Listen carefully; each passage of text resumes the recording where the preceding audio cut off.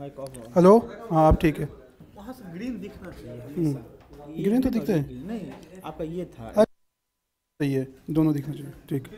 Clear हो गया। चाय पीने गई है नाश्ता करने चली गई हैं लोग। ठीक है। अभी तक हम लोग कहाँ तक पढ़े थे? हैं? सिविल डिसोबीडियंस मूवमेंट मैंने आपको बताया था सिविल डिसोबीडियंस मूवमेंट जिसको हिंदी में आपका मीडियम क्या है? बहुत है। एक ही मीडियम होगा ना ज़्यादा इंग्लिश या हिंदी? कोई दिक्कत नहीं बोलो हिंद, हिंदी है तो हिंदी दी। उसी हिसाब से। हाँ। अच्छा। कल हम लोग सिविल डिसोबीडियंस के बारे में पढ़ रहे थे जिसको हिंदी में कहते हैं सविनय अवज्ञा आंदोलन। ठीक है ना? जैसा किसने कहा था कि सर सविनय तो एप्लीकेशन में लिखते हैं कि सविनय निवेदन है एप्लीकेशन प्रिंसिपल स्कूल वगैरह लिखते हो ना? सविनय का मतलब क्या होता है? सिविल सब, है ना? डिसोबीडियंस सविनय का मतलब होता है विनय के साथ, विनती के साथ, ठीक है ना? तो मतलब वैसा आंदोलन जिसमें नॉन वायलेंस हो, ठीक है? किसी तरह का वायलेंस ना हो और नॉन वायलेंस तरीके से किसी कानून का उल्लंघन करना या उसको तोड़ना। तो गांधी जी जो है 1930 में आपको पता है कि सविनय अवज्ञा आंदोलन तीन चरणों में हुआ था, ठीक है? अगर आप देखोगे तो सविनय अवज्ञा आंदोलन को 1930 में जो स्टार्ट किया था, उसके पीछे कुछ बैकग्राउंड था। मैंने आप लोग को बैकग्राउंड भी बताया था। तो कौन कौन सा बैकग्राउंड था जिसकी वजह से गांधी जी को जो है 1930 में सविनय अवज्ञा आंदोलन स्टार्ट करना पड़ा? बताओ, मैंने बताया था लास्ट क्लास में। कोई भी आंदोलन शुरू हुआ है ना, चाहे 1920 का नॉन कॉपरेशन मूवमेंट हो 1930 का सविनय अवज्ञा आंदोलन हो या 1942 का भारत छोड़ो आंदोलन हो, उस आंदोलन को शुरू करने के पीछे कुछ फैक्टर्स होते थे। तो मैंने आपको बताया था कि 1930 का जो सविनय अवज्ञा आंदोलन है, जिसको सिविल डिसोबीडियंस मूवमेंट है, उसके पीछे भी कुछ फैक्टर्स थे। उसमें से दो तीन फैक्टर का नाम बताओ। साइमन कमीशन कब आया था? हाँ सेवन में तो आए। हाँ ठीक है। तो साइमन कमीशन क्यों फॉर्म हुआ था? कोई बता सकता है नाइनटीन में जो एक्ट आया था उसको रिव्यू करने के लिए हाँ। मैंने ये कहा था कि 1919 1909 में कौन सा एक्ट आया था?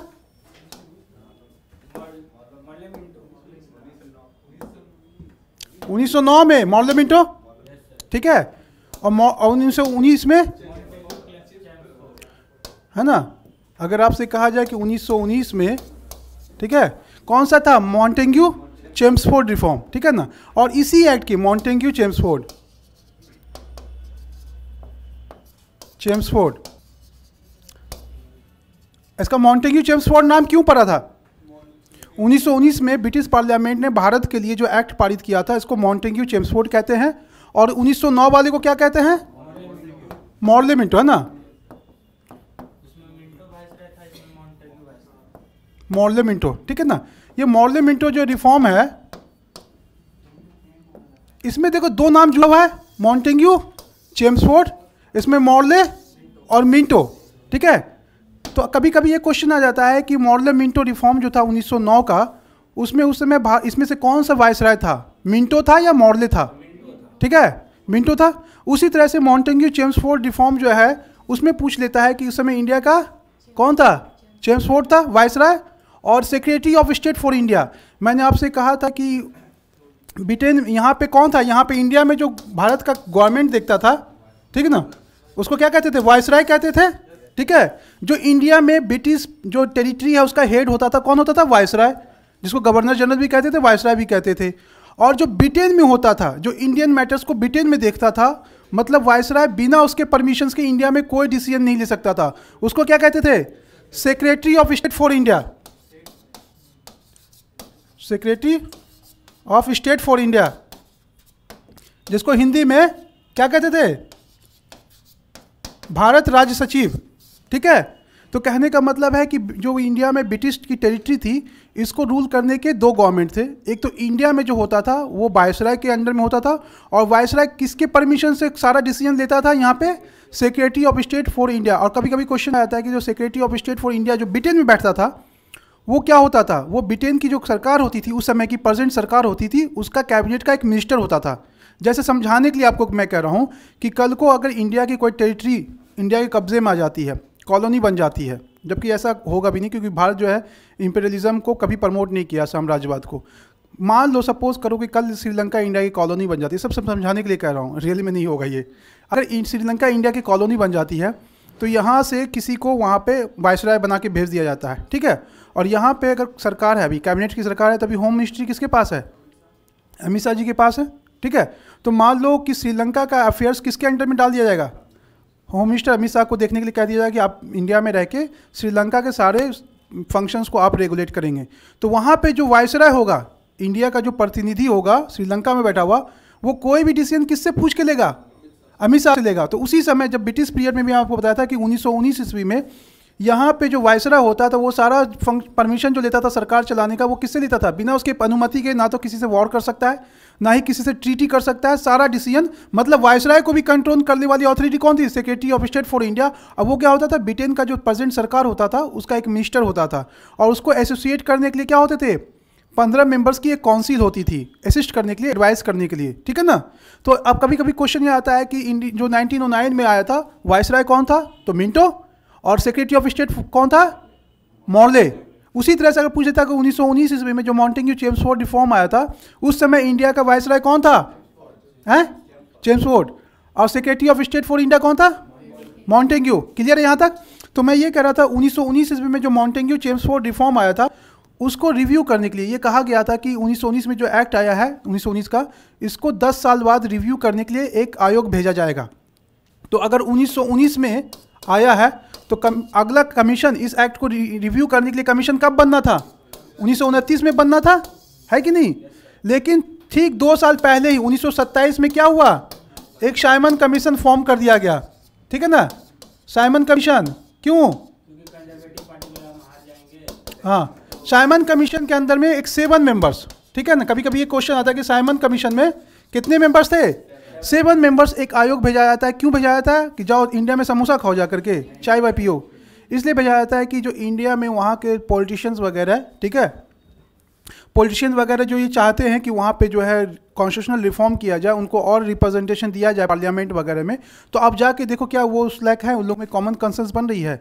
या क्या क्या कमियाँ हैं इस एक्ट में, इसको सुधारने के लिए दो साल पहले ही एक आयोग भेज दिया जाता है। और साइमन के अंडर में होता है, जो उसको हेड करता है साइमन होता है, और उसमें सेवन मेंबर्स होते हैं।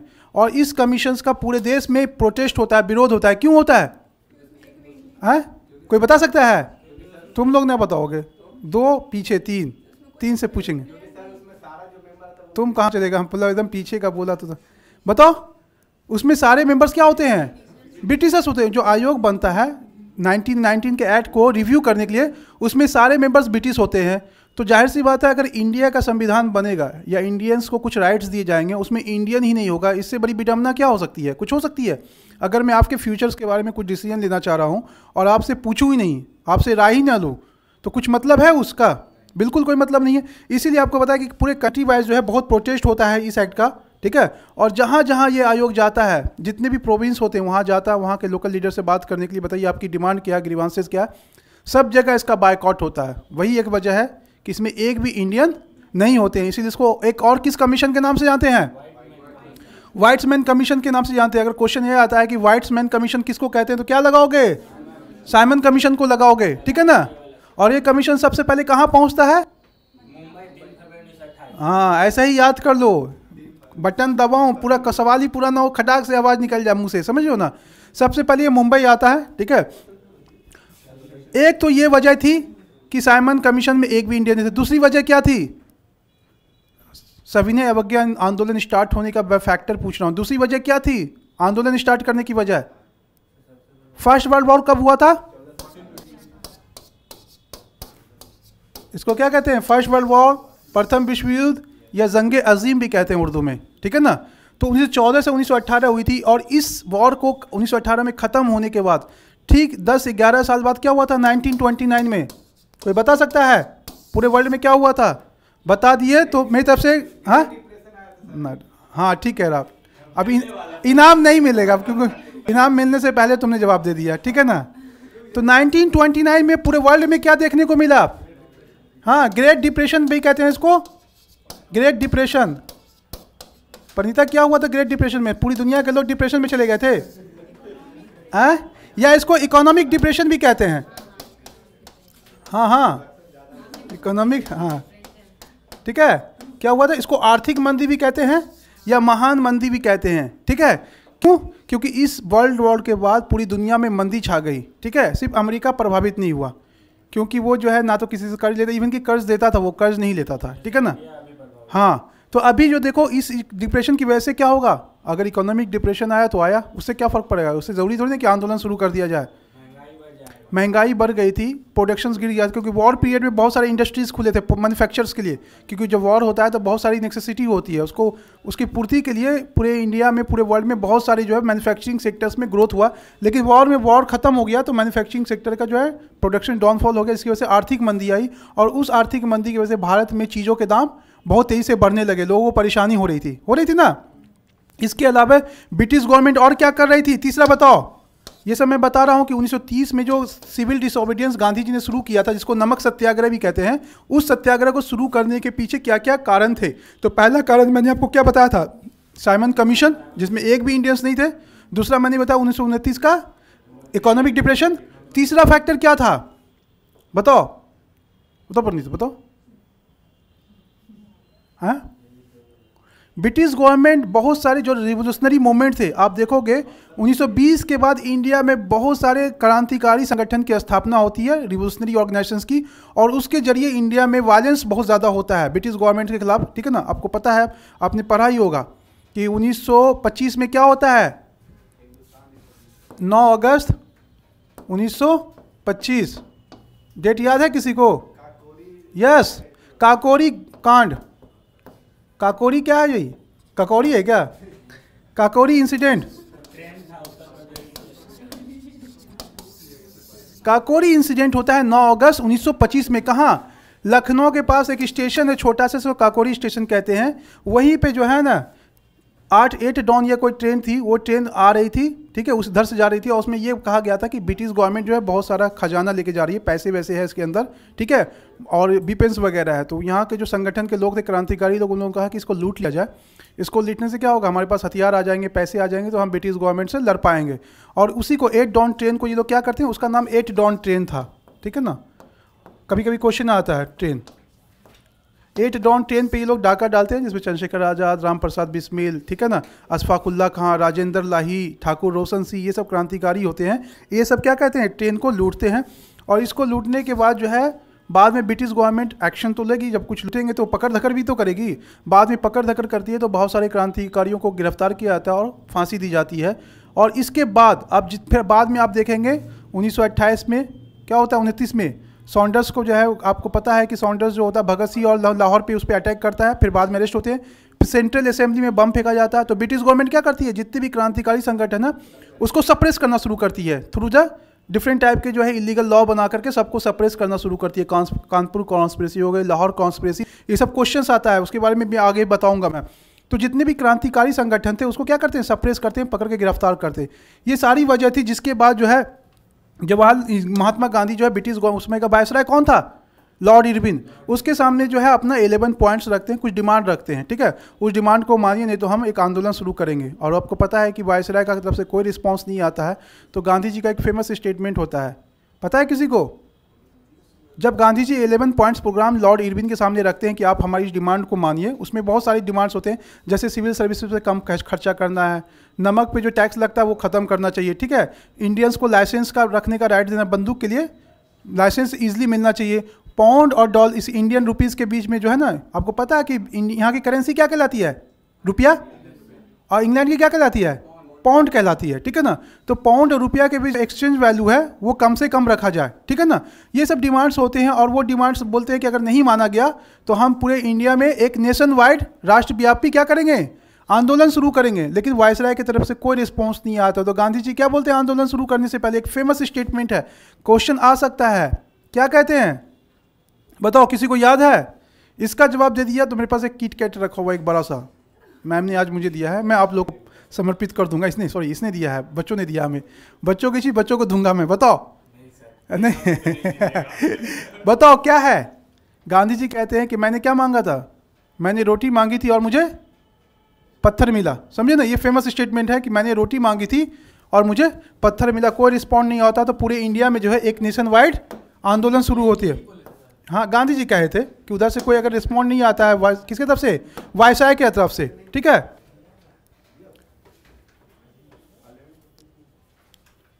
तो ये सारे फैक्टर्स थे किसके लिए?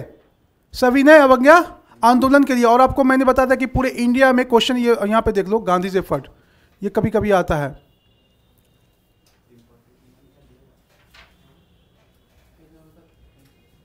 ठीक है?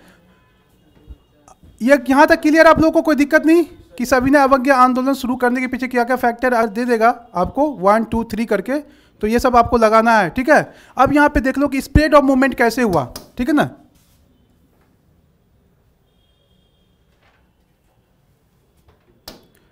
मैंने आपसे ये भी कहा था कि जो साबरमती से उन्होंने शुरू किया था।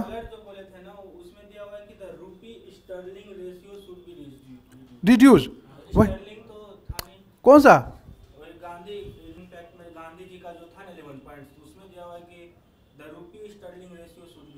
वही पाउंड को स्टर्लिंग भी कहते हैं। कम कंफ्यूज नहीं होना है। स्टर्लिंग अगर है तो पाउंड के स्केंस में भी आ रहा है। वहाँ की जो करेंसी है ठीक है ना? अब यहाँ पे देखो एक क्वेश्चन पिछली बार एक एग्ज़ाम में आया था कि गांधी जी ने जो साबरमती से जो नमक सत्याग्रह के लिए जो ट्रेवल शुरू किया था कब शुरू किया था? 12 मार्च? 1900 बताओ। 30 और उसको खत्म कहाँ पे पहुँचे थे? दांडी? 6 अप्रैल। तो एक क्वेश्चन आया था एक दो साल पहले कि ये जो 12 मार्च से 6 अप्रैल का बीच है, उसमें कितने दिन में ट्रैवल सफ़र किया था? 24 दिन में ये क्वेश्चन आ चुका था। तो अभी आप कुछ भी पढ़ोगे हिस्ट्री में तो उन सब चीज़ों का ध्यान रखना, ठीक है? अगर किताब में पढ़ो तो नोट कर लेना इन सब चीज़ों को। क्वेश्चन वहाँ पर जाके करते हैं, ठीक है ना? और गांधी जी जैसे हाँ बोलो। हम्म।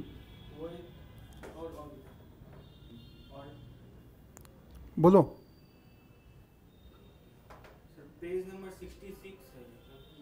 क्या हो गया? उसमें सर एक पॉइंट ये ने पेज नंबर 66 बताओ तो है क्या?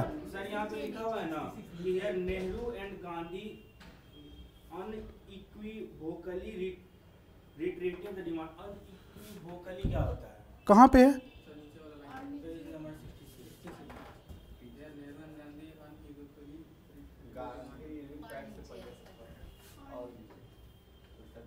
वहाँ तो अभी गए भी नहीं थे, तुम पहले पहुँच गए। कहाँ पे?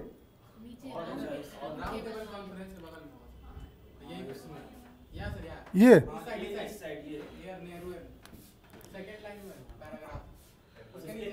इस। अच्छा। Nehru and Gandhi unequally reiterated the demands of right of secession of from Britain ठीक है ना? मतलब उनमें कोई मतभेद नहीं था। दोनों ने मिलजुल के एक ही डिमांड रखी। ठीक है ना? सेम डिमांड रखी। दोनों में डिमांड में? हाँ। वही सेंस मतलब हुआ। अनइक्वली का मतलब क्या हुआ? है? नहीं नहीं। सर्च करो उसका, देख लो टर्म गूगल पे सर्च करो क्या मतलब होता है इंग्लिश का वहाँ तो अभी हम पहुँचे भी नहीं थे, फिर भी सर्च कर लो।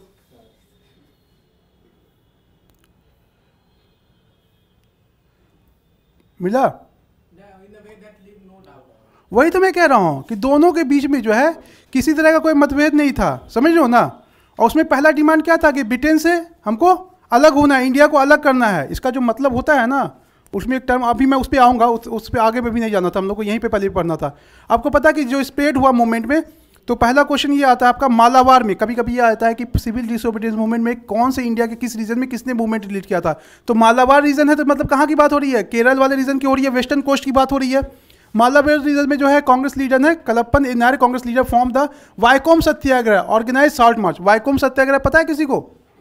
वहाँ पे एक तो नाम, नमक सत्याग्रह हो रहा है, दूसरा ये हो रहा है कि जो डिप्रेस क्लास के लोग होते थे वीकर सेक्शन होता था, आप पढ़ेंगे हिस्ट्री में तो इंडिया में साउथ इंडिया में खास करके जो वीकर सेक्शन होते थे weaker section in the sense जो शेड्यूल कास्ट वगैरह होते हैं, उनको टेंपल एंट्री नहीं मिलती थी मतलब मंदिर में जाने की अनुमति नहीं थी। वहाँ पर वो लोग सत्याग्रह शुरू किए थे, क्या?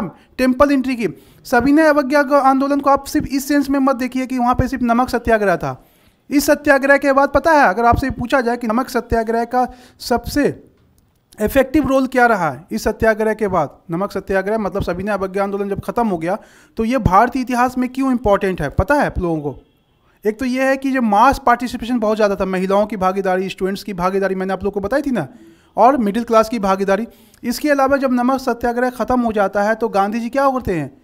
क्योंकि इसी के बाद, नमक सत्याग्रह के बाद देखेंगे, ब्रिटिश गवर्नमेंट क्या करती है? कमनल अवार्ड का अनाउंसमेंट करती है। Declaration of communal award communal award में ये था कि आपको पता है कि 1919 में किसको सेपरेट इलेक्ट्रोड दिया गया था? मुस्लिम्स को। 1919 में फिर सिक्स वगैरह को दिए जाते हैं और 1932 में जो कम्युनल अवार्ड डिक्लेयर करता है रैमजे मैकडोनल्ड ब्रिटेन के प्राइम मिनिस्टर थे। ठीक है ना? Pallavi Kumar is commission and session is important और नॉट बिल्कुल। दोनों इंपॉर्टेंट है। कमीशन भी और सेशन भी दोनों इंपॉर्टेंट है पल्लवी। ठीक है ना? अब यहाँ पे देखो, मैं अगर आपसे पूछूँ कि सविनय अवज्ञा आंदोलन का सबसे बड़ा अचीवमेंट पता है? एक तो ये था कि मास पार्टिसिपेशन बहुत ज़्यादा हुआ था। इंडिया के सारे कम्युनिटी जो है इस आंदोलन से जुड़े। खास करके महिलाओं का रोल बहुत ज़बरदस्त था इस आंदोलन में। लेकिन इसके बाद का है कि जब ये आंदोलन खत्म हो गया, जब कम्युनल जो है डिक्लेरेशन कर दिया वहाँ पे रैमजे मैकडॉन ने ब्रिटेन का प्राइम मिनिस्टर ने। कम्युनल अवार्ड में क्या था? पता है आप लोगों को? कम्युनल अवार्ड में ये था कि शेड्यूल्ड कास्ट जो है उसके लिए भी सेपरेट इलेक्टोरेट कर दिया गया था। कितनी सीटें दी गई थी उसमें? कोई बता सकता है? यस सेवेंटी एट मतलब कहने का मतलब था कि इंडिया में 78 सीटें किसके लिए रिज़र्व होंगी? शेड्यूल क्लास के लिए होंगी। और इस अवार्ड के बाद कम्युनल अवार्ड के बाद गांधी जी जो है जेल में ही यरबदा जेल में ही जो क्या करते हैं? हंगर स्ट्राइक पे चल जाते हैं। Hunger strike till till death मतलब हम जो है, आजीवन जो है, क्या करेंगे? भूख हड़ताल करेंगे। मतलब हम जान दे देंगे भूखे रह करके। क्यों? ये तो अच्छी बात थी ना। अगर आपसे कहा जाए कि ठीक तो है कि सर शेड्यूल क्लास को अगर अठहत्तर सीटें रिज़र्व मिल रही थी तो क्या दिक्कत थी? पल्लवी, बताओ आप लोग। विक्की कुमार, ये क्लास ये क्लास अभी जस्ट स्टार्ट किया है सवीना अवज्ञा आंदोलन से, विक्की। पहले का अगर नहीं किया होगा तो दिक्कत हो जाएगी। अभी से मैंने इसलिए मैं कहता हूँ क्लास रेगुलर अटेंड किया करो या पास्ट के पहले के जो लेक्चर उसको देख लेना।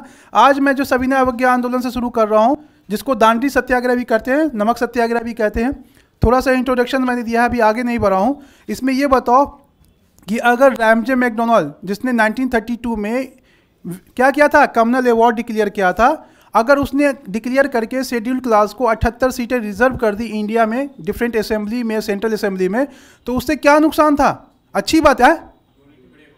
यस सबसे बड़ा ये था कि 1909 में अगर मॉडल मिंटो रिफॉर्म में मुस्लिमों को सेपरेट इलेक्ट्रेट दे दिया इस चीज़ को कांग्रेस 1900 1916 में लखनऊ पैक्ट में एक्सेप्ट कर लेती है, ठीक है? और गांधी जी को ये पता था कि एक विभाजन ऑलरेडी हो चुका है। अगर शेड्यूल क्लास के भी अलग से सेपरेट कर दिया जाएगा। तो उससे क्या होगा? भारतीय समाज में, खास करके जो बहुसंख्यक हिंदू समाज है, उसमें भी दो फार हो जाएगा। नहीं हो जाएगा? कि अगर जैसे ही आप इसी के लिए रिज़र्व कर देंगे सीटें तो होगा कि बट जाएगा समाज। यूनाइट नहीं हो पाएँगे हम लोग। और समाज में एक बहुत बड़ी दरार पैदा हो जाएगी और उसको भरना बहुत मुश्किल हो जाएगा। इसलिए गांधी जी क्या करते हैं? हंगर स्ट्राइक पे चले जाते हैं। और यहीं से आप देखोगे कि गांधी जी जो है, मान जाते बाद में उनके अंबेडकर के साथ उनका पैक्ट होता है, जिसको पूना पैक्ट कहते हैं। गांधी जी कहते हैं अंबेडकर से कि अठहत्तर सीटें क्यों लोगे अलग से? हम तुमको उससे ज़्यादा सीटें देंगे। एक सौ इकतालीस, एक सौ सैंतालीस सीटें दे देते हैं। डबल दे देते हैं तुम्हें। क्या दिक्कत है? लेकिन अलग से मत लो। मतलब जनरल सीट में ही रिज़र्व कर देंगे। ठीक है ना? समझ लो ना? अगर जनरल सीट में रिज़र्व कर देंगे तो वो विभाजन से हिंदू समाज क्या हो जाएगा? बच जाएगा। अंबेडकर मान जाते, मानने वाले नहीं होते, लेकिन गांधी जी के भूख हड़ताल को देख के लगता है कि नहीं माने तो कहीं ऑफ़ ना हो जाए गांधी जी और ये ये बहुत बड़ा ये भी है कि गांधी जी की जान बचाने में अंबेडकर ने कुर्बानी की बहुत बड़ी, ठीक है? वो मान जाते कि ये ज़िद्दी आदमी है, ये नहीं मानेंगे। गांधी जी का कहा, एक बार हड़ताल, भूख हड़ताल पर चले गए तो कोई डिशेज जो है उनको भूख हड़ताल ख़त्म करने से नहीं मान सकती। तो अपनी मांग मांग मंगवा के रहते थे।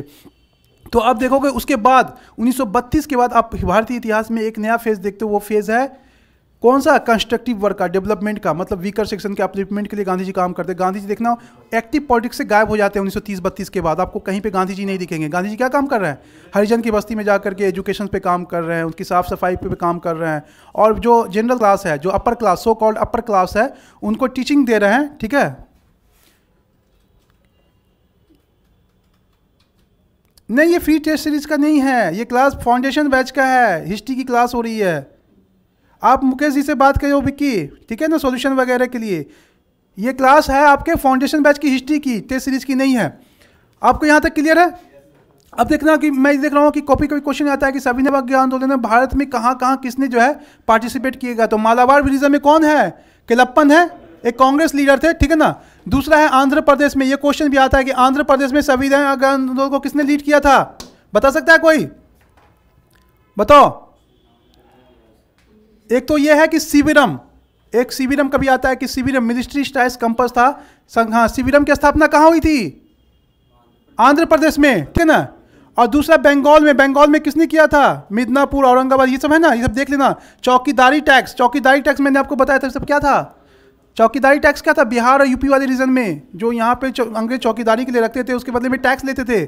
तो गांधी जी ने क्या कहा था कि, पे नहीं करना है आपको चौकीदारी टैक्स। गवर्नमेंट ऑफिशियल से कहा था कि, आप लोग रिजाइन कर दो। बच्चों से कहा था, स्कूल कॉलेज का बाइकआउट करना है। क्यों कर रहे थे ये स्कूल कॉलेज का बाइकआउट?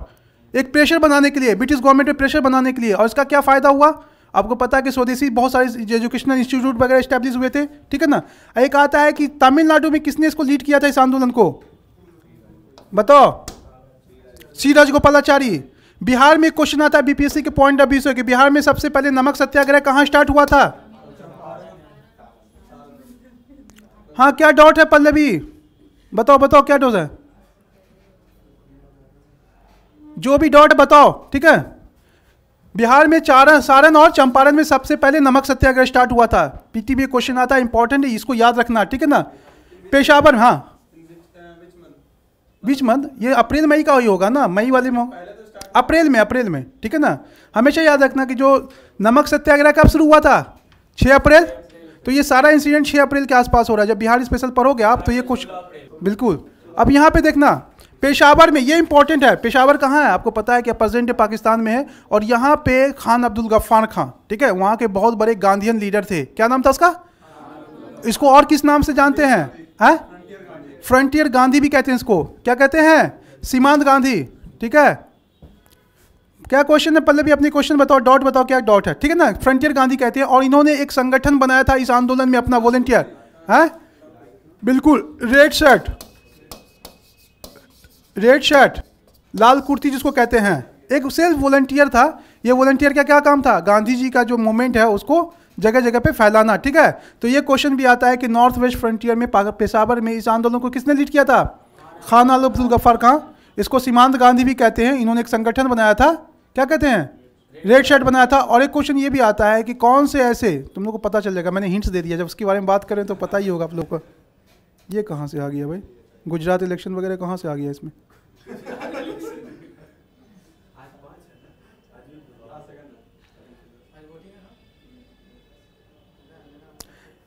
एंशियंट नहीं है, कौन है भाई ये? आपको एंशियंट लग रहा है ये। ये मॉडर्न है एंशियंट इसके बाद स्टार्ट करूँगा, जब खत्म हो जाएगा कल परसों, उसके बाद एंशियंट स्टार्ट करेंगे।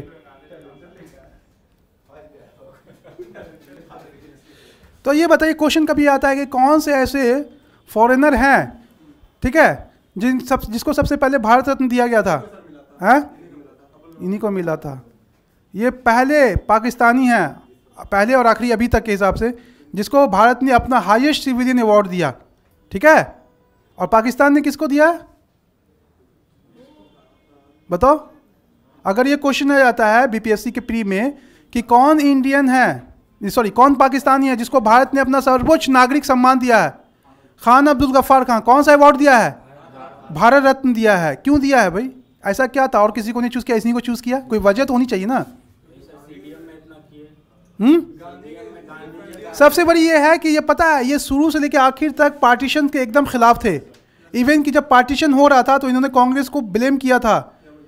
एक क्वेश्चन आया था बीपीएससी में, किसने कहा था कि कांग्रेस ने भेड़ियों के सामने फेंक दिया है? भेड़िया कौन था? मुस्लिम लीग ठीक है? और ये पार्टीशन के खिलाफ थे, हमेशा खिलाफ थे। और जब पार्टीशन हुआ तो आपको पता है कि जो नॉर्थ वेस्ट फ्रंटियर पेशावर वाला रीजन है, वो किसमें चला गया था? पाकिस्तान में। और यहाँ के जब लीडर ने एक्सेप्ट कर लिया उस पार्टीशंस को तो ये कांग्रेस के बहुत नाराज़ हुए कि कांग्रेस ने हमसे प्रॉमिस किया था कि आप हमारे साथ रहिए, हम वो वाले हिस्से को पाकिस्तान में नहीं जाने देंगे, बाद में भेज दिया। और चूँकि ये थ्रू आउट कांग्रेसी रहे, इनकी हाइट पता है? हाइट इनकी कम से, मुझे लगता है कि छः फीट से ज़्यादा रही होगी। बहुत लंबे और काफ़ी लंबे समय तक जिए, क्योंकि मुझे याद है अस्सी, पचासी के दशक में इनको भारत रत्न मिला है। ये वो उस समय के आखिरी लीडर हैं जो अस्सी के दशक तक ज़िंदा रहे हैं। समझ रहे हो? और वो इलाज करवाने के लिए एक बार एम्स भी आए थे, इंडिया भी आए थे। तो इन्हीं के बारे में कहा जाता है कि पहले पाकिस्तानी हैं और आखिरी जिनको कि क्या मिला है? भारत रत्न मिला है। और क्वेश्चन न कभी ये आ जाए कि कौन से भारतीय जिसको पाकिस्तान ने अपना हाइस्ट सिविलियन अवार्ड दिया है? कौन इंडियन है जिसको पाकिस्तान ने अपना हाइस्ट सिविलियन अवार्ड दिया है? दो ऑप्शन दूँ? ठीक है। हाँ स्पेक्ट्रम बुक होगा प्लीज़ हाँ ले लो अच्छा है वो एक्सेट्रा सही है मॉडर्न हिस्ट्री के लिए। आप एक ही क्वेश्चन को दस बार हाँ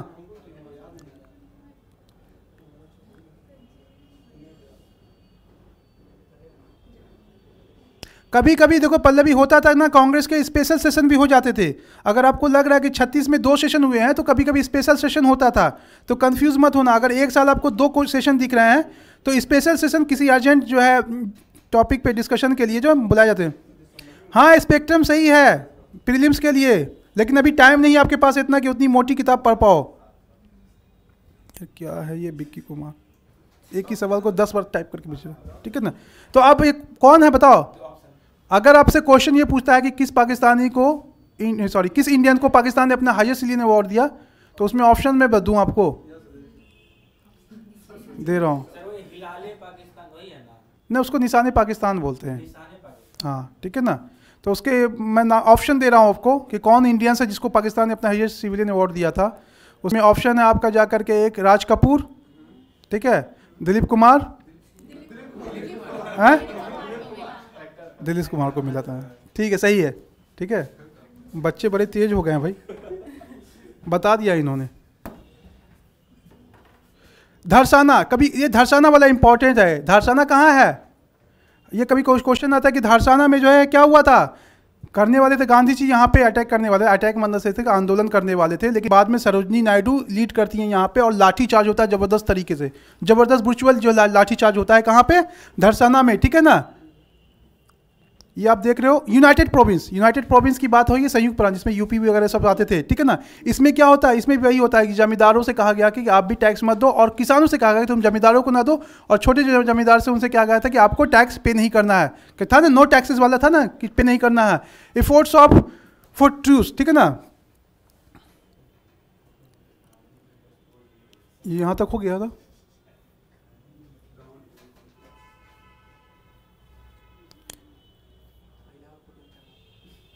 आपको पता है कि जब ये मूवमेंट चल रहा होता है पीक पे होता है तो उसी समय ब्रिटिश गवर्नमेंट क्या करती है? राउंड टेबल कॉन्फ्रेंस को बुलाती है और उस राउंड टेबल कॉन्फ्रेंस में तीन राउंड टेबल कॉन्फ्रेंस होते हैं। कभी कभी क्वेश्चन ये आता है कि कितने राउंड टेबल कॉन्फ्रेंस हुए? थ्री हुए हैं और आपको पता है कि पहले राउंड टेबल कॉन्फ्रेंस में कौन कांग्रेसी पार्टिसिपेट करते हैं? कौन जाते हैं? कोई नहीं करते हैं, ठीक है ना? तो ये याद रखना कि फ़र्स्ट राउंड टेबल कॉन्फ्रेंस में कोई भी कांग्रेस का लीडर क्या करता है? पार्टिसिपेट उसमें नहीं करता है। आपको दिख रहा है ना, सारे लोग बैठे हुए हैं। The three round table conference were a series of conference ठीक है? फ़र्स्ट राउंड टेबल कॉन्फ्रेंस कभी कभी आता है पंद्रह नवंबर उन्नीस से उन्नीस जनवरी, उन्नीस सौ इकतीस तक, ठीक है ना? तो ये लगभग एक दो महीने तक चलता है। तो कभी क्वेश्चन अगर दिया हुआ हो तो तीस से इकतीस हो तो कन्फ्यूज़ मत होना। है तीस इकतीस ही लगानी है, क्योंकि नवंबर से लेके जनवरी तक ये चलता है, ठीक है ना? सेकेंड राउंड टेबल कॉन्फ्रेंस ये बताओ कि कभी कभी ये क्वेश्चन आना चाहिए आपके दिमाग में। Sir first round table conference हुआ था। तीन राउंड टेबल कॉन्फ्रेंस हुए। तो फ़र्स्ट राउंड टेबल कॉन्फ्रेंस क्यों सक्सेसफुल नहीं रहा? क्योंकि उस समय इंडिया की जो सबसे बड़ी पार्टी थी कौन थी? हाँ ठीक है, घटना चक्र पढ़ो, ठीक है ठीक है, घटना चक्र पढ़ो। ठीक है सेकेंड राउंड टेबल कॉन्फ्रेंस में कौन पार्टिसिपेट करता है? कांग्रेस पार्टी करती है। और क्यों? ब्रिटिश गवर्नमेंट क्यों चाहती है कि कांग्रेस भाग ले? क्योंकि उस समय पूरे इंडिया की सबसे बड़ी पार्टी कांग्रेस होती है। और अगर कांग्रेस ही पार्टिसिपेट नहीं करेगी तो क्या होगा? राउंड टेबल कॉन्फ्रेंस सफल नहीं होगा। इसीलिए बाद में आपने देखा होगा कि जो है ब्रिटिश गवर्नमेंट इनिशिएटिव लेती है, कांग्रेस के नेताओं से बात करती है, उसमें तेज बहादुर सप्तू मदन मोहन मालवीय, वो सब जाकर गांधी से बात करते हैं कि जो है इरविन ने कहा है कि कुछ ऐसा हो जाए एग्रीमेंट होगा कि आप भाग ले कांग्रेस। तो बोलता है कि ठीक है, भाग लेंगे, मेरी कुछ शर्तें हैं। उन शर्तों में क्या था पहला? पहला शर्त ये था कि ब्रिटिश गवर्नमेंट ने जितने भी कांग्रेस के नेताओं को सबिना अवज्ञा आंदोलन में अरेस्ट किया, क्या करे किनको? सबको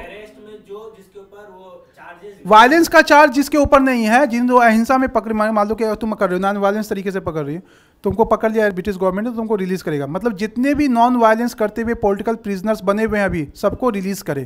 ठीक है? वायलेंस वाले का नहीं है कि पता चले कि डंडा चला रही थी तो इसको नहीं छोड़ना है। जो पीसफुली प्रोटेस्ट कर रहे थे उसको रिलीज़ करना है। उस शर्त पे क्या करेगी? कांग्रेस भाग लेगी। और इसी में जाके देखोगे आप कि जो है क्या होता है? लॉर्ड इरविन और गांधी के बीच में एक एग्रीमेंट होता है। ठीक है ना? जिसको गांधी इरविन पैक्ट भी बोलते हैं। ये क्वेश्चन भी आता है। क्या हुआ था गांधी इरविन पैक्ट?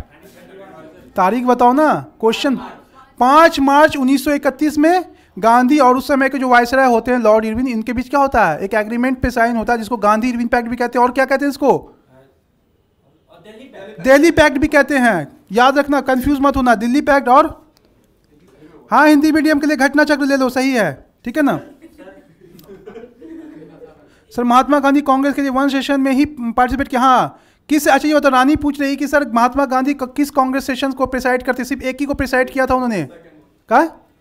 मैं पूछ रहा हूँ, कांग्रेस के इतने सारे सेशन हुए अठारह से लेकर अब तक? आज़ादी से पहले कब? यस रानी, एक जगह किए थे 1924 में गांधी जी ने एक ही कांग्रेस सेशन को प्रिसाइड किया था? बेलगांव। कहाँ है बेलगांव? बताओ। तमिलनाडु में है। तो भेज देंगे तमिलनाडु। कभी क्वेश्चन आ जाए कि गांधी जी ने सिर्फ़ एक ही कांग्रेस सेशन को प्रिसाइड किया था? 1924 में बेलगांव सेशन में वो बेलगांव कहाँ है? बताओ। बताओ। बेलगांव हाँ बिल्कुल, रानी, बेलगांव बेलगांव कहाँ है? अगर क्वेश्चन आ जाए कि गांधी जी ने जिस सेशन को प्रिसाइड किया था, वो सेशन बेलगांव में हुआ था। बेलगांव पर वर्तमान समय में किस राज्य में है? हैं? बेलगांव, ऑप्शन दूँ? सब में ऑप्शन ढूंढोगे तुम लोग जगह में दिया ही नहीं डिस्ट्रिक्ट ऑप्शन देने की कोशिश कर सकते हैं ठीक है, दे रहा हूँ ऑप्शंस तमिलनाडु, आंध्र प्रदेश, ठीक है, Maharashtra, Jammu Kashmir none of the अब हाँ महाराष्ट्र, एक ने कहा महाराष्ट्र, एक है तमिलनाडु, आंध्र प्रदेश, इसका आंसर है नन ऑफ़ दी अब ठीक है? पल्लवी भी कह रही है, बेलगांव ठीक है रानी भी सही है, पल्लवी भी सही है, ठीक है ना? देखो, इसमें क्या है कि इसका जो सेशन हुआ था 1924 में, जो गांधी जी ने अध्यक्षता की थी कांग्रेस की, वो बेलगांव में होता है बेलगांव है कर्नाटक में। ठीक है? ओके? ये क्वेश्चन आता है, लिख लो इसको। कंफ्यूज मत होना, फिर पूछ लेंगे। ठीक है ना? रानी पल्लवी, विक्की, सब देख लो। ये सेश, जो बेलगांव सेशन हुआ था, वो प्रेजेंट डे में कहाँ है? कर्नाटक में है। हाँ? हमें पत्थर मिला। बदले में हमें पत्थर मिला। जब गांधी जी लॉर्ड इरविन के सामने अपने एलेवन डिमांड्स रखते हैं कि आप ये डिमांड्स मानो, ठीक है ना? हाँ कर्नाटका पल्लवी, सही। आप बता रहे पल्लवी बता रही कर्नाटका, बिल्कुल सही बिल्कुल सही। तो गांधी जी ने वही पूछ रहा, एक क्वेश्चन इन्होंने लिख लो कि गांधी जी ने जब लॉर्ड इरविन के सामने अपने एलेवन डिमांड्स रखे और उस डिमांड्स को मांगने के लिए रखा, जब उस डिमांड पे गवर्नमेंट की तरफ़ से कोई रिस्पॉन्ड नहीं आया, जैसे अभी बीपीएससी वाले आंदोलन कर रहे हैं ना? किसे? बीपी सरकार से? कि आप रिवाइज आंसर निकालो। सही गलत आंसर दिए हैं, सही करके रिज़ल्ट निकालो। अब बीटी बिहार सरकार की तरफ़ से या बीपीएससी की तरफ़ से कोई अभी तक रिस्पॉन्ड नहीं आया है। सेम उसी समय जो है गांधी जी भी इरविंग के सामने रखे थे, अपने डिमांड्स नहीं माना गया। तब गांधी जी ने कहा था, हमने रोटी मांगी और हमें बदले में क्या मिला? पत्थर मिला, ये फ़ेमस स्टेटमेंट अगर दे देगा तो क्या मारोगे? गांधी जी किस आंदोलन के समय? सविनय आंदोलन, ठीक है ना? उसी समय, बिल्कुल कर्नाटक। अब यहाँ पे देखो कि लॉर्ड इरविन और गांधी जी के पाँच मार्च 1931 में क्या होता है? पैक्ट होता है। कभी देख लेना। Gandhi leader of the national international movement Lord Irwin, British viceroy of India. तो अभी क्वेश्चन आता है, क्या गांधी जी थे वहाँ पे एग्रीमेंट करने के लिए? गांधी जी तो जेल में थे। उसके बिहाब में जो है, कुछ लीडर जो है, क्या किए थे यहाँ पे आकर के? तेज बहादुर सप्तू वगैरह। गांधी जी के बिहाब में साइन किया था और इसी को कहते हैं गांधी इरविन पैक्ट या दिल्ली पैक्ट ठीक है ना? तो अगर दिल्ली पैक्ट आता है तो कंफ्यूज मत होना, वही है, ठीक है ना? और इसमें यह था कि जितने भी पॉलिटिकल प्रिजनर्स हैं, जो नॉन वायलेंस तरीके से अरेस्ट हुए हैं, उसको क्या किया? रिलीज़ किया जाए तो कांग्रेस पार्टिसिपेट करेगी। और आपको पता है कि Congress second round table conference में पार्टिसिपेट करती है, और उसके बाद ये सेशन भी फेल हो जाता है। क्योंकि उसी में वही बात थी कम्युनल डिमांड की बात है कि शेड्यूल क्लास वगैरह को दे रहे थे। गांधी जी चाहते थे कि शेड्यूल क्लास को अलग से नाम मिले। हम लोग जनरल में रिज़र्व करेंगे, लेकिन ब्रिटिश गवर्नमेंट क्या चाहती थी? अब ये सब चीज़ें देख रहे हो आप। हाँ। कहाँ पे? लेकिन साइन नहीं किया था गांधी जी ने। गांधी जी ने साइन नहीं किया उसके बिहार पे किसने किया था? किसने किया था? तेज बहादुर सप्रू वगैरह ने किया था। इसको गांधी पैक्ट भी कहते हैं। और इसी एक्ट में ये था कि गांधी जी क्या करेंगे? Round table second round table conference में पार्टिसिपेट करेंगे। और गांधी जी जाते भी हैं। तो कभी कभी ये क्वेश्चन आता है कि सेकंड राउंड टेबल कॉन्फ्रेंस में गांधी जी जो गए थे भाग लेने के लिए वो किस शिप पे बैठ के गए थे? पीसीएस में आ चुका है। बताओ। आई एन एस राजपूताना, ठीक है ना? ये क्वेश्चन भी आता है, लिख ले, भूलना मत। आई एन एस राजपूताना, ठीक है?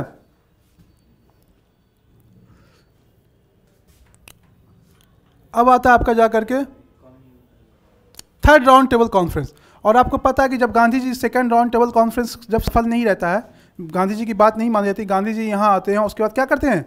थर्ड राउंड टेबल कॉन्फ्रेंस के समय गांधी जी जो है पार्टिसिपेट नहीं करते हैं और इसका आउटकम्स क्या आता है? कभी कभी ये क्वेश्चन आता है जो तीनों राउंड टेबल कॉन्फ्रेंस हुआ, इसका आउटकम्स क्या आया? क्या रिज़ल्ट आया? ठीक है ना? आपको पता तीन राउंड टेबल कॉन्फ्रेंस हुए थे फ़र्स्ट सेकेंड थर्ड तो कभी कभी ये क्वेश्चन आता है कि कौन से लीडर तीनों? आप लोग भी बताओ, कौन से जो है प्रमुख नेता थे जो तीनों राउंड टेबल कॉन्फ्रेंस में भाग लिए थे? हैं? बी आर अंबेडकर और? बाकी और हिंदू संगठन के लोग थे, ठीक है, हिंदू महासभा के पार्टिसिपेट थे, मुस्लिम लीग से कुछ लोग थे, लेकिन जो मेन आता है प्रोमिनेंट अंबेडकर के बारे में आएगा। अगर अंबेडकर होगा तो उसी का लगाना, ठीक है ना? गांधी जी का सिर्फ़ सेकंड में लगाना, ठीक है? अब ये जो राउंड टेबल कॉन्फ्रेंस हुआ था, ये बताओ राउंड टेबल कॉन्फ्रेंस हो क्यों रहा था? क्यों हो रहा था? बारात जा रही थी किसी की? हाँ? राउंड टेबल जो तीन राउंड टेबल कॉन्फ्रेंस हुआ, ये राउंड टेबल बुलाया क्यों था? कोई बता सकता है ऑनलाइन से? हैं? जो इंडिया में हाँ जो इंडिया में जो कॉन्स्टिट्यूशनल रिफॉर्म हो रहा था, जो संवैधानिक सुधार हो रहे थे तो उस सुधार के लिए ब्रिटिश गवर्नमेंट क्या की, कि सारे इंडियन सीजर को बोल कि, लंदन आओ, हमारे साथ बैठो, बैठ के बात करेंगे, जो भी डिमांड होगा, यहाँ की आबो हवा में आओ, देखो कितना अच्छा मौसम है।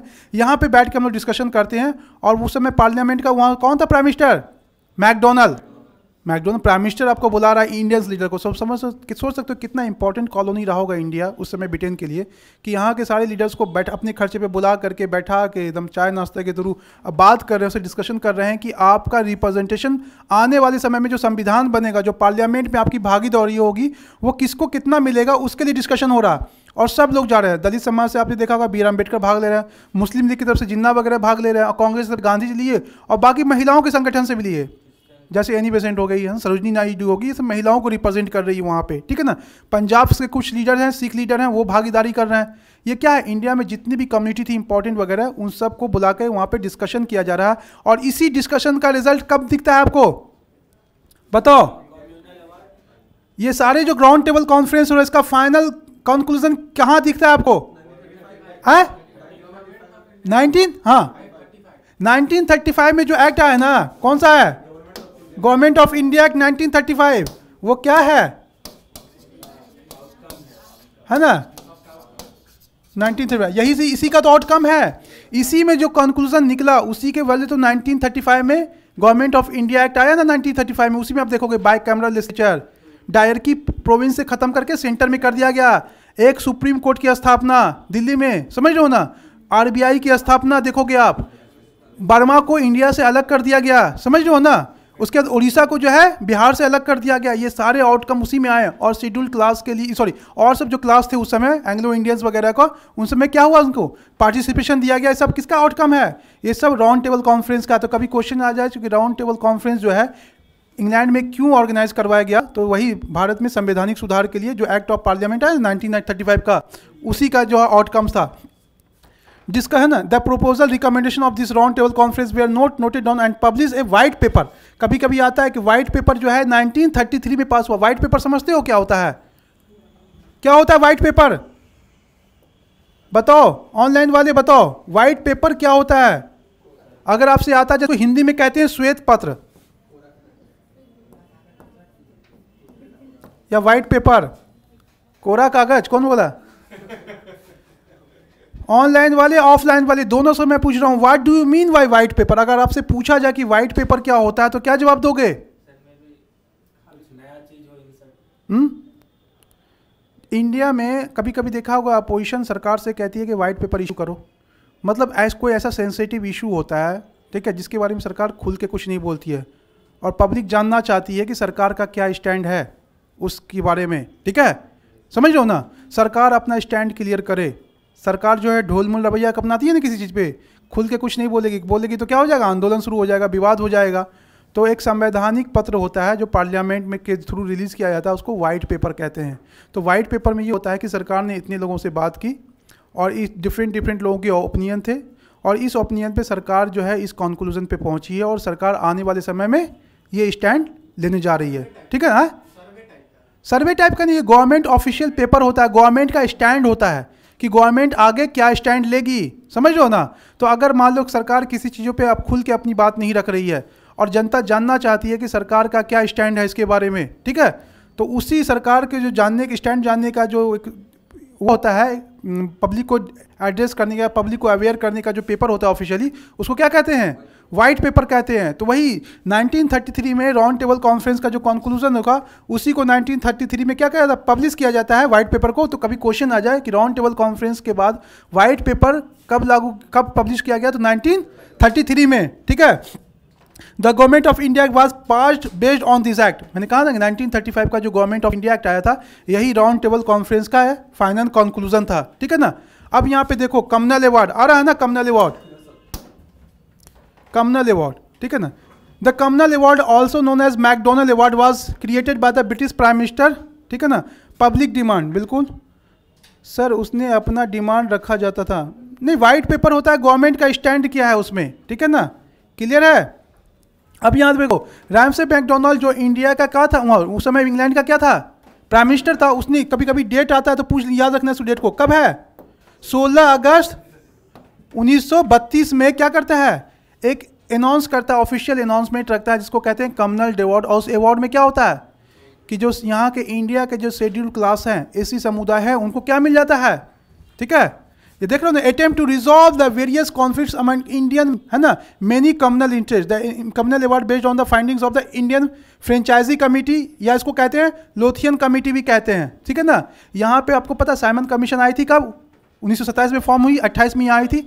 यहाँ के सारे पॉलिटिकल लीडर से बात की और वो इस कंक्लूजन पे पहुँची कि इंडिया में जो शेड्यूल क्लास है, उसकी हालत बहुत ज़्यादा ख़राब है। उनकी जो कंडीशन है इकोनॉमिक हो एजुकेशनल हो, इनकी बहुत ज़्यादा हालत ख़राब है। तो इनकी कंडीशंस को सुधारने के लिए क्या किया जाए?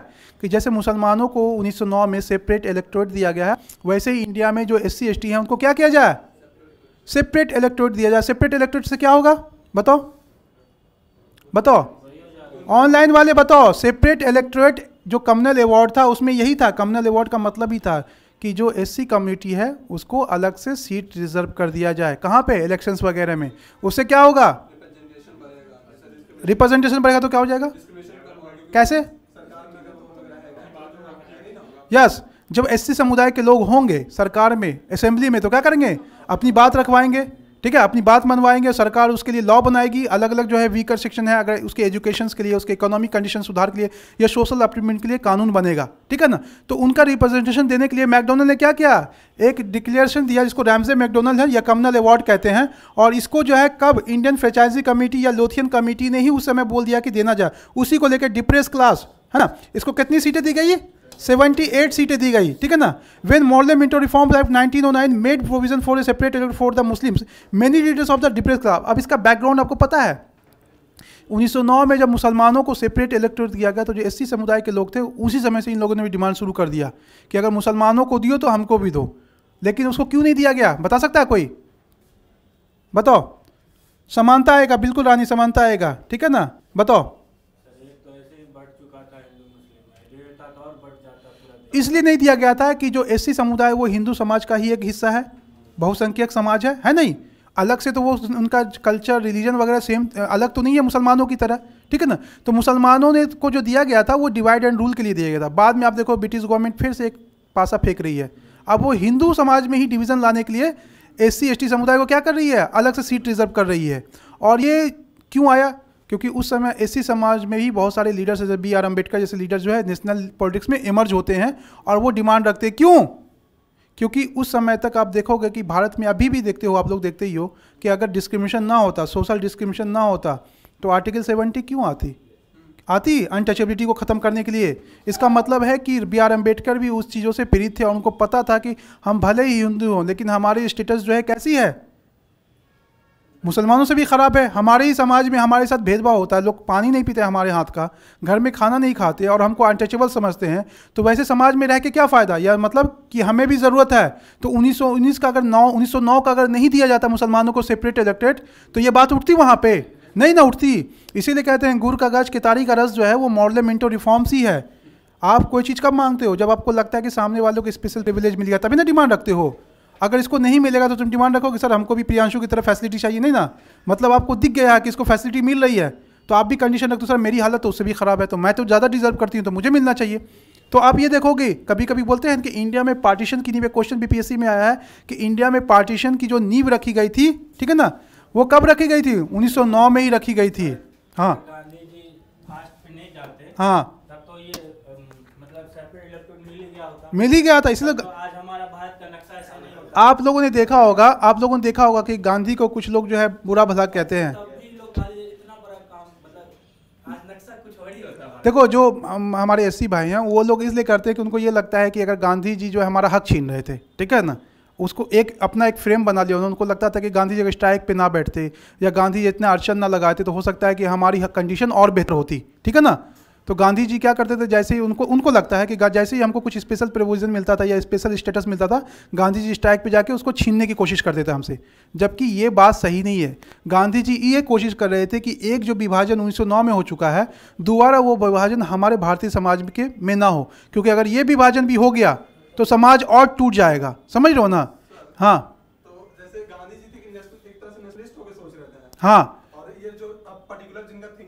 हाँ। मैं आपको बताऊँ दोनों अपनी अपनी जगह पे सही थे ठीक है? एक कम्युनिटी जिसको आप समाज में अपना हिस्सा नहीं मानते हो टेंपल एंट्री नहीं मिलती थी आपको क्या पता? हाँ। तो तो अंबेडकर ने माना ना भाई गांधी जी की बात मानी ना? आप जब पढ़ोगे पूना पैक्ट होता है गांधी जी के साथ एग्रीमेंट होता है साइन करते हैं गांधी जी बोल अंबेडकर देखते हैं कि अगर नहीं माने इसकी बात ठीक है ना? तो ये तो इनकी डेथ हो जाएगी। समझ ना? तो अंबेडकर ने भी वहाँ पे बहुत बड़ा सेक्रीफाइस किया कि गांधी जी की जान बचाने के लिए कि ये जिद्दी आदमी अगर हम नहीं माने इनकी बात तो ये ठीक है, अगर आप सेपरेट नहीं देना चाहते हो तो गांधी जी बोलते, तुमको अठहत्तर दिया ना? हम तो एक सौ कितना दे देंगे? एक सौ सैंतालीस दे देते हैं हम तुम्हें। लेकिन अलग से मत लो, हम जनरल में ही जो कांग्रेस की सीटें होंगी, उसी में रिज़र्व कर देंगे एससी के लिए। तब अंबेडकर मानते हैं। तो दोनों अपनी अपनी जगह पे सही हैं, लेकिन एक से बताओ कोई समाज जो इतना ज़्यादा पीड़ित है, इतना ज़्यादा विक्टिम है एक बहुसंख्या समाज में, वो डिमांड तो अपनी रखेगा कि नहीं रखेगा? ये जो आप हिस्ट्री देखो, इसलिए देखोगे, बत्तीस के बाद गांधी जी जानते हो एक्टिव पॉलिटिक्स में नहीं रहते हैं। वो गाँव गाँव जाके गली मोहल्ले में जो वीकर सेक्शन है, उसकी हालत सुधारने में काम करते हैं, जिसको कंस्ट्रक्टिव काम बोलते हैं। गांधी की आप फिलॉसफी अगर पढ़ोगे, पूरी ज़िंदगी उन्होंने भारत को बचाने में लगा दिया। और हर इंसान का अपना अपना एक आइडियोलॉजी होता है। हमें होता है कि जो हमारे अकॉर्डिंग चलता है, वो अच्छा होता है, जो हमारे अकॉर्डिंग नहीं चलता, हमें बुरा लगता है, वो इंसान। लगता है कि नहीं लगता है? लेकिन मेन उनका इंटरेस्ट क्या था? नेशनल इंटरेस्ट था। तो यहाँ पे भी जो है मॉडल मिंटो रिफॉर्म्स बहुत बड़ा फैक्टर रहा और बी आर अंबेडकर ठीक है ना? साइमन कमीशन को फोकस करते हैं कि डिप्रेस क्लास को रिजर्वेशन दो। साइमन कमीशन भी आता है तो बी आर अंबेडकर उसके सामने भी डिमांड रखते हैं कि आप जाओगे यहाँ से तो ये बात वहाँ पे रखना कि हमारे वीकर सेक्शन की जो हालत है एस सी की बहुत ज़्यादा ख़राब है। तो आपको पता है कि साइमन कमीशन जाता है, बाद में ब्रिटिश पार्लियामेंट में मैकडोनल्ड क्या करता है? एस सी के लिए रिज़र्व करता है मैकडोनल्ड और उसी को ख़त्म करने के लिए गांधी जी क्या करे हैं? बताओ। भूख हड़ताल पे चले जाते हैं, ठीक है? और उसी को क्या कहते हैं? भूख हड़ताल के बाद क्या होता है? सिर्फ़ क्या होता है? बताओ। बता सकता है? ये देख लो थोड़ा सा मेन प्रोविज़न क्या क्या है। Muslims European Sikhs Indian Christian Anglo Indian depressed class women and even the Marathas were to get separate elected such an arrangement for the depressed classes was to be made for a period of twenty years तो आप देख रहे हो? पहले सिर्फ़ Muslims था। अब सबको सब चाहिए मतलब दिया जा रहा था। देखो, होता भी है कि जहाँ पे जो माइनॉरिटी में होते हैं, उनको अलग से सीट दी जाती है, इसलिए दी जाती है कि इसने कि देश तुरे इसलिए दी जाती है कि उनका रिप्रेजेंटेशन होगा तो उनकी हालत ख़राब नहीं होगी, सरकार उस पर काम करेगी। ठीक है? ये आपको दिख रहा है। दूसरा जो प्रोविंशियल इसलिए seats we are reserve on come अब देखो, ये कहाँ है? सेंट्रल असेंबली में है। उसके अलावा इंडिया में आठ, दस, बारह प्रोविंसेस थे। उन प्रोविंसेस रहे हो? दो तरह की सरकार थी। एक जो दिल्ली में थी, उसको क्या कहते थे? सेंट्रल लेजिस्लेटिव असेंबली जो बाद में लोकसभा बनी। उसके अलावा बिहार में यूपी में, बंगाल में क्या थी? प्रोविंशियल असेंबली थी। वहाँ पे भी सीट क्या होना चाहिए? रिज़र्व होना चाहिए, ठीक है ना? तो उस, वहाँ पे भी बात है।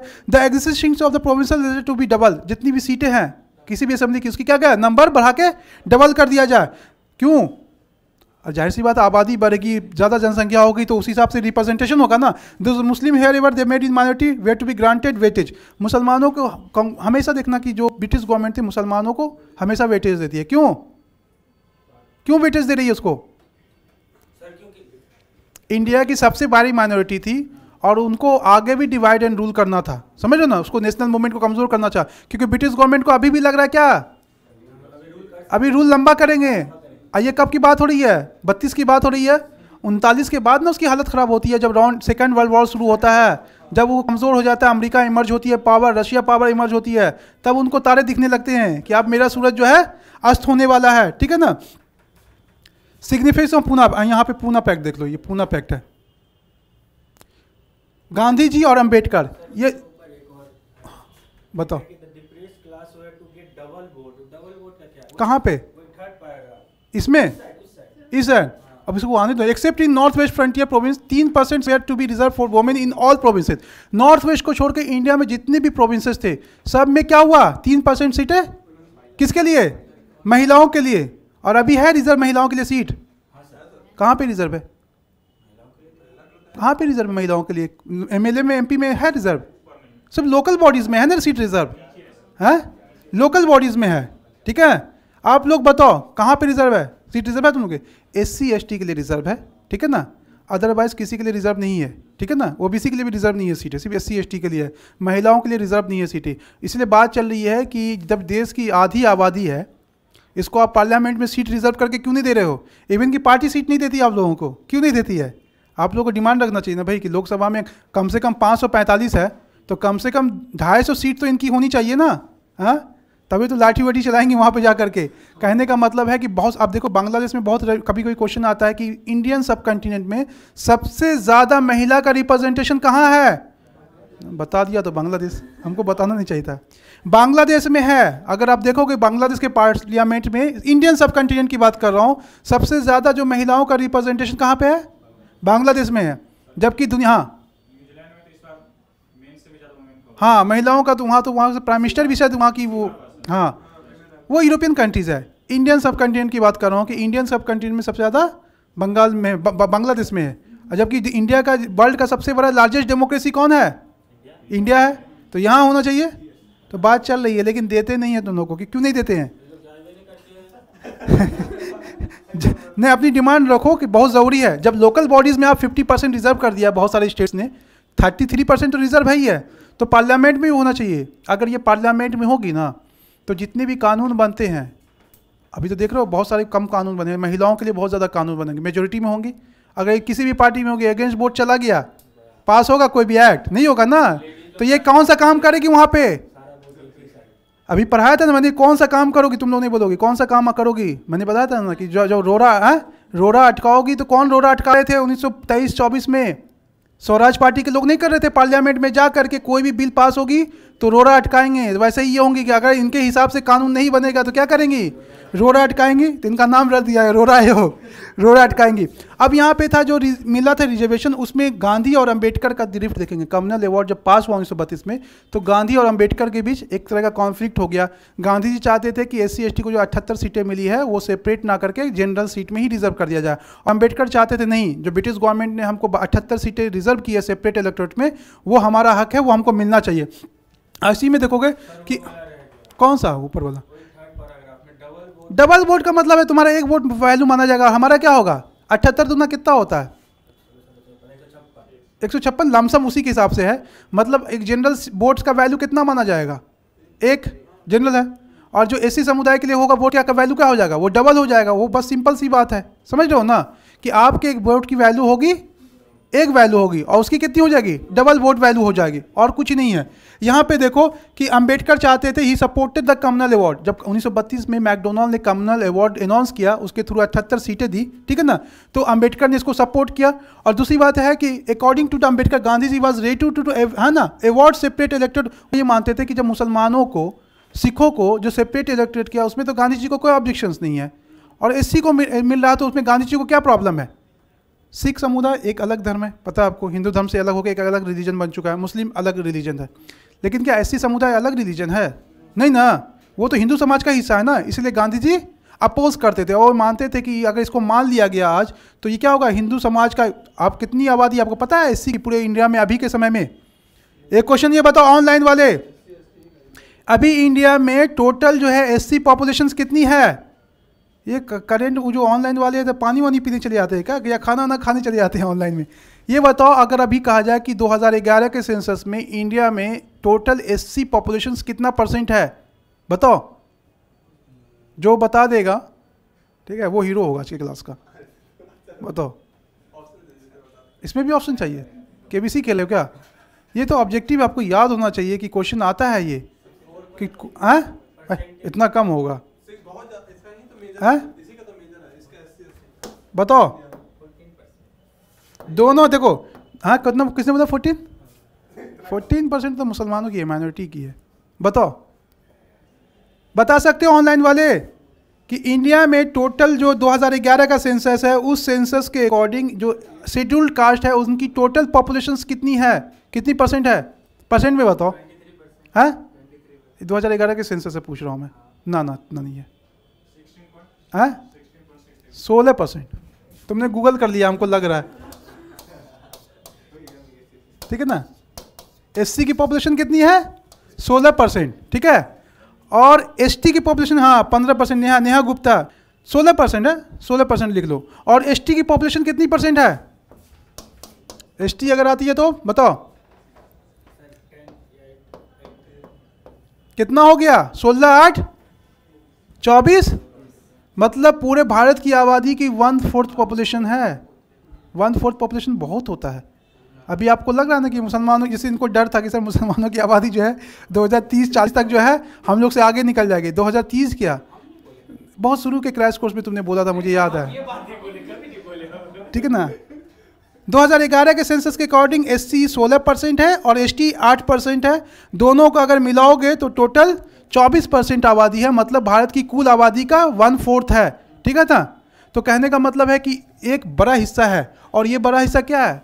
अपने बहुत सारे राइट्स से डिप्राइव है डिप्राइव कर दिया गया है। तो उस समय भी ये बात चल रही थी कि जब गांधी जी मुस्लिम्स और सिखों के लिए आवाज़ नहीं उठाते, अगर उनको सीट मिलता है तो हमको मिलता है तो क्यों खड़े होते हैं? तो गांधी जी का क्या स्टैंड था? वो चाहते थे कि भारतीय समाज में एक विभाजन ना हो। क्योंकि सिख धर्म अलग है, मुस्लिम धर्म अलग है, लेकिन ऐसी क्या है? हिंदू धर्म का ही तो एक हिस्सा है, इसीलिए वो हंगर स्ट्राइक पे बैठे थे। और वो कौन सा हिंग है? Thus on the whole the communal award was nothing but a sign of determination ठीक है? The British government to wrap up the Indian constitutional and electoral politics ठीक है? अब यहाँ पे देखो। द पूना पैक्ट जब ये था तो the Poona pact was an agreement between M K Gandhi और B R Ambedkar signed in the है ना यरवदा जेल ये क्वेश्चन आता है कि जब Poona pact pass Poona pact पे साइन हुआ था तो गांधी जी कहाँ थे? यरवदा जेल में थे. इस क्वेश्चन को याद रखना, भूलना मत, ठीक है? ये नहीं कि भूल जाना, ठीक है? यरवदा जेल में थे और ये साइन कब हुआ था? 24 सितंबर 1932 ये भी आता है कि Poona pact was signed on 24 September 1932 ठीक है ना? अब behalf of the depressed class for the reservation of the electoral seats in the legislature और एक चीज़ और बता रहा हूँ कि जो मैंने आपसे पढ़ाया था कि गांधी और इरविन के बीच जो साइन हुआ था, ठीक है? वो साइन जो हुआ था, उसको क्या कहते हैं? दिल्ली पैक्ट कहते हैं? और उसको और एक कौन सा पैक्ट कहते हैं? है? नहीं, एक और नाम है उसका। दिवाली पैक्ट, कि उस समय दिवाली थी, समझे ना? उसको दिवाली पैक्ट भी बोलते हैं। तो अब यहाँ पे देखो reservation of the secular seat in the legislature of the British it was signed by Ambedkar Ambedkar थे एक तरफ़ एससी समुदाय की तरफ़ से, और Madan Mohan Malviya on the behalf of the Hindus and Gandhi as means to in the fast that Gandhi was undertaking in jail as a protest against the decision made by क्योंकि गांधी जी jail में थे, उसके behalf पे कौन sign किया था इन्होंने? कभी क्वेश्चन भी आता है कि यार जो पूना पैक्ट साइन हुआ था, कांग्रेस की तरफ़ से किसने साइन किया था? मदन मोहन मालवीय में। अभी पाँच, दस मिनट बाद फिर पूछूँगा ना तो गायब हो जाएगा तुम लोग के दिमाग से। ठीक है ना? क्लियर है यहाँ तक? और इसमें क्या था? कि जो अठहत्तर सीटें मिली थी उसको बढ़ा के कितना कर दिया गया? कितनी कर दी गई थी? अठहत्तर से बढ़ा के एक कर दी गई थी सीटें। मैंने कहा था ना और वो सीटें क्या थी? अलग से नहीं थी। विद इन जनरल में कर दी गई। ठीक है ना? तो इससे क्या हुआ? डिमांड भी मान लिए गए। गांधी, अंबेडकर को भी लगा अठहत्तर की जगह पे एक सौ सैंतालीस मिल रहा। ठीक है? और विभाजन से देश जो है बढ़ गया। एक नए विभाजन से बढ़ गया। ठीक है? Significance of Pune Pact. Certain seats for the provincial legislature would be reserved for the depressed class. The number of seats was based on the total strength of the provincial council. The number of seats reserved for the provinces was तीस for Madras के लिए तो बिहार वाला याद रख लेना ठीक है तीस फॉर मद्रास आठ फॉर पंजाब ये सब कहाँ थी एस की सीटें हैं कहाँ कहाँ डिफरेंट डिफरेंट प्रोविंसेस जो उस समय थी ठीक है आठ पंजाब चौदह बॉम्बे के लिए विथ सिंध के साथ twenty for the central provinces अठारह for the Bihar and Orissa Bihar और उड़ीसा में कितनी सीटें थी याद रखना, एक क्वेश्चन पूछ सकता है कि 1932 में जो मिला था फ्री वर्ड क्लास ये कहाँ से आ गया? ये कहाँ से आ गया? कौन है ये? Free word girls chat in you city ये कहाँ से आ गया ये सब? यहाँ पे देखो कि जो बिहार में है, वो 18 सीटें हैं, ठीक है ना? और 30 बंगाल में, सात आसाम में और 20 जो है यूनाइटेड प्रोविंस में तो सबसे बड़ा प्रोविंस कौन सा है? यूनाइटेड प्रोविंस, जिसमें यूपी वगैरह मिला हुआ था, उसमें मैक्सिमम सीट है और सेंट्रल प्रोविंस में है बीस बीस है, ठीक है ना? और बिहार में कितना अठारह तो बिहार का याद रखना, क्वेश्चन अगर पूछेगा तो बिहार वाले से ज़्यादा पूछे सकता है, ठीक है ना? So total there were one forty seat reserve seats ठीक ना? For each of this seats the numbers of the depressed class who could board form and electoral college ये उसमें ऐसा है नहीं जैसे क्वेश्चन बनेगा आपका, ठीक है ना? सेंट्रल लेजिस्लेटिव असेंबली में 90 percent seat would be reserve for the depressed class जो सेंट्रल लेजिस्लेटिव असेंबली है, कहाँ? दिल्ली में। उसमें कितनी परसेंट सीट रिज़र्व कर देगी? 19 परसेंट ये भी याद रख लेना फैक्ट ठीक है ना? बहुत ज़रूरी ऐसे पूछ सकता है आपका। और गवर्नमेंट ऑफ़ इंडिया अब जो नेक्स्ट आ रहा है, इधर का हो गया ना पूरा? Government of India act, government of India act पता है कि 1935 में आया था और इस एक्ट से क्वेश्चंस आते हैं। ये क्वेश्चन अगर आता है आपसे कि बिट, पूरे ब्रिटिश पीरियड में 1765 से लेकर के 1947 तक जो सबसे बड़ा एक्ट था ब्रिटिश पार्लियामेंट द्वारा भारत के लिए जो पास किया गया था, वो कौन था? गवर्नमेंट ऑफ़ इंडिया 1935 सबसे इंपॉर्टेंट भी है और अभी का जो संविधान आपको दिखता है ना, उसकी बहुत सारी झलक आपको इस वाले एक्ट में दिखेगी। अभी जो आर आर देखते हो ना, नोट कौन छापता है? आर छापती है। ये इसी एक्ट के थ्रू इस्टेब्लिश हुआ है। समझ रहे ना? अभी का जो सुप्रीम कोर्ट आप देखते हो ना, ये इसी एक्ट के थ्रू पास हुआ है। समझ रहे हो ना? ये एक्ट का बहुत ज़्यादा इंपॉर्टेंट है, इसको अच्छे से देखना। Mukesh ji the government of India act was pass by the British parliament August 1935 ठीक है? It was the longest act मैंने कहा था ना, सबसे बड़ा एक्ट है अब तक ब्रिटिश पार्लियामेंट ने जितने भी पास किए हैं। ठीक है ना? Enacted was British parliament time it was divided into two separate acts namely इसके दो नाम थे। हम लोग सिर्फ़ गवर्नमेंट ऑफ़ इंडिया एक्ट पढ़ते हैं ना। इसमें दो था। पहला था the government of India act 1935 and the government of Burma act 1935 क्योंकि आपको पता है इसी एक्ट के थ्रू तब तक जानते हो बर्मा किसका हिस्सा था?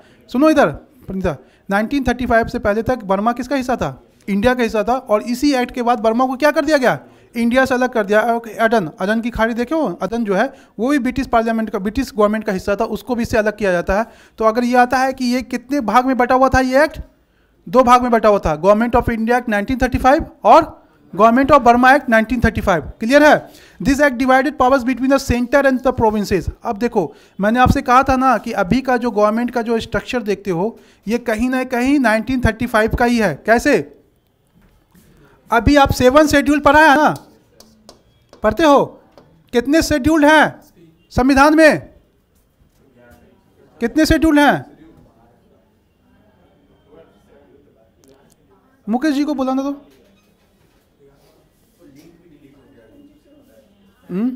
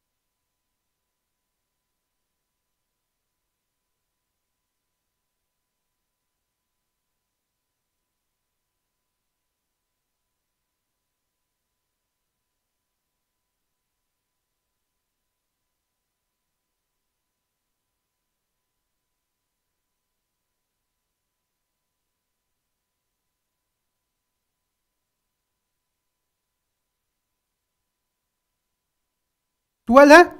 वो ट्वेल्व शेड्यूल में किस शेड्यूल में जो है, डिस्ट्रीब्यूशन ऑफ़ पावर है? लिस्ट के बारे में है। सेवन शेड्यूल में है? पढ़ा कि भूल गए हो? सेवन शेड्यूल जो है, उसमें ये बताया जा रहा है कि सरकार में तीन अंगों, तीन लिस्ट होंगे। Central list, state list concurrent list. है ना? तो अब यहाँ पे देखो कि इसमें भी था कि दो था, एक सेंट्रल गवर्नमेंट होगी, एक प्रोविंशियल। आप फेडरल फीचर्स पढ़ते हो ना? कि इंडिया में क्यों कहता है? यूनियन ऑफ़ स्टेट्स है इंडिया, उस स्टेट में एक सेंट्रल गवर्नमेंट है और एक स्टेट गवर्नमेंट है। तो इसमें भी क्या था? पावर को बांट दिया गया। सेंटर और प्रोविंस में, अभी का जो दिखता है ना, ये इसी एक्ट में ये प्रोविजंस बनाया गया था। दूसरा था there were three list which gave the subject under each cut अभी देखो फेडरल लिस्ट और अभी इसको क्या कहते हैं? सेंट्रल लिस्ट कहते हैं। है ना? ये उसी समय आया था। अभी पढ़ते हो ना कि सेंट्रल स्टेट कॉन्कुरेंट वाला। दूसरा तो कौन था? प्रोविंशियल जिसको स्टेट लिस्ट कहते हैं अभी।